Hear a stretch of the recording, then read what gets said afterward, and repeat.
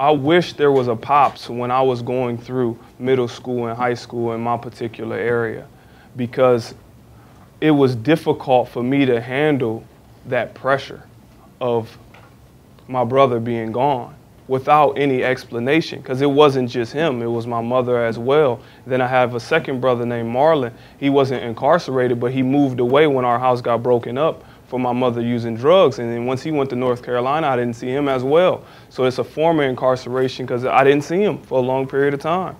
So going through all these things, this is the reason why I wanted to come. As I said, I had nothing prepared. I just wanted to open up about the the lifestyle I went through and say that everything that you guys are doing that's opening up about your experiences is a great thing beyond what you can imagine.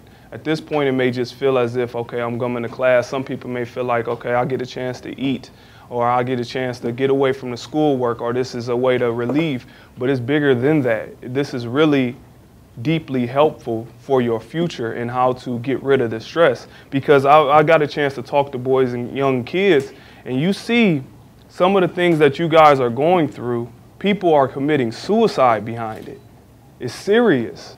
And for you to be here to come together as one to help each other get through it is powerful.